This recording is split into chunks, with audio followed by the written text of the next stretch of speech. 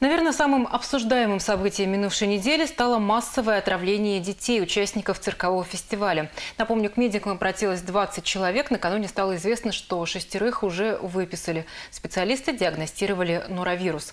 Что это за заболевание, как проявляется и можно ли себя защитить, сегодня обсудим с гостей. В нашей студии Оксана Игумнова, врач-гастроэнтеролог. Оксана Александровна, доброе утро. Доброе утро. Итак, норовирус, что это за заболевание? Это один из вариантов вирусной инфекции, возбуждающий э, неконтролируемую диарею, частый жидкий стул. А как он передается? Чаще всего это грязные руки или необработанные, например, продукты питания, фрукты, овощи или вода, которая содержит этот норовирус. Но это, конечно, не бутилированная вода. Какие органы поражает норовирус? Ну, это в первую очередь желудок и кишечник. То есть такие пациенты страдают тошнотой, рвотой, обезвоживанием, интоксикацией, часто жидкий водянистый стул. А долго ли вот эти вот симптомы наблюдаются? Каждый раз по-разному, в зависимости от тяжести состояния пациента. А, чаще всего это 1, 2, 3 дня в более легкой форме, и симптомы проходят самостоятельно, когда вирус полностью выходит из организма. В более тяжелых случаях это может быть недели, и такие пациенты, конечно, требуют госпитализации. Но в первую очередь это дети. А вот э, какие симптомы в целом могут быть у этого заболевания? Только жидкий стул или что-то, может быть, повышение температуры, общее какое-то ухудшение? Да, конечно, повышение температуры тоже присутствует, и это симптомы интоксикации. Такие детки слабые, у них лихорадка, полное отвращение к продуктам питания и в определенных э, периодах даже судорожные симптомы. Что касается первой помощи до приезда врача или скорой, э, вот чем можно помочь ребенку, ну или взрослому, если у него наблюдаются такие симптомы? Это, конечно, коррекция обезвоживания. Таких пациентов мы просим распаивать. Это первое то, что нужно сделать. И желательно поить их э, препаратами типа регидрона или подсоленной водой, например, для того, чтобы задержать жидкость и купировать потерю микроэлементов, таких важных, например, как калия.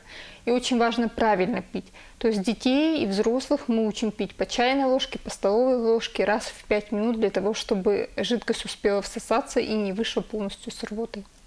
А вот вообще обращение к врачу, оно в каких ситуациях необходимо? Или оно в любом случае не лишним будет?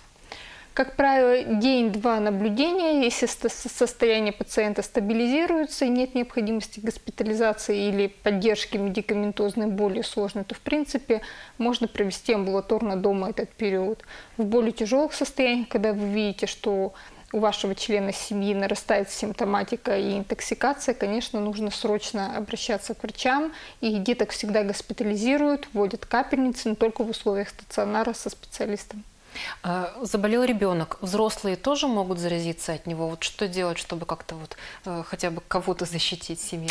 К сожалению, очень часто это семейная история, когда болеет ребенок, родители, конечно, за ним ухаживают, а эти вирусы, они выделяются в том числе и с работой. И чаще всего взрослые в более легкой форме, но переносят также эту инфекцию. Сколько по времени длится вот вся вот эта болезнь? Ну, как я говорила, 2-3 дня в отдельных случаях более затяжной период – это около недели, но имеет значение еще выделение вируса. Такие пациенты, они заразны очень долгий период, до 14 дней, даже после того, как купировались симптомы. Поэтому нужно, нужно соблюдать все равно правила гигиены в домашних условиях. А диагноз, вот подтвердить, что это действительно норовирус, может только врач или вот ну, мы сами по этим симптомам можем определить? Нет, это достаточно просто сделать. То есть если есть жидкий стул, тут же собираем этот стул и несем в лабораторию, сдаем кал на острые кишечные инфекции, куда включены 7 самых частых возбудителей, в том числе норовирус, ротавирус, сальмонеллез. Готовится он всего один день, очень просто, к вечеру у вас уже будет результат. А кто в группе риска по этому заболеванию? Можно ли себя как-то защитить?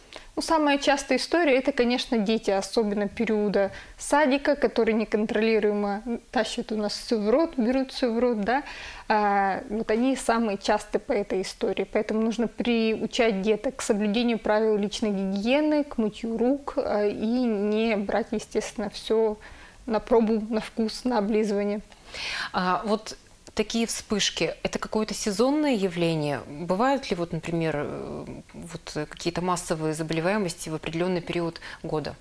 Да, чаще всего это летний и осенний период, конечно. Летний – это особенно морская история, да, как наши поездки на Черноморское побережье.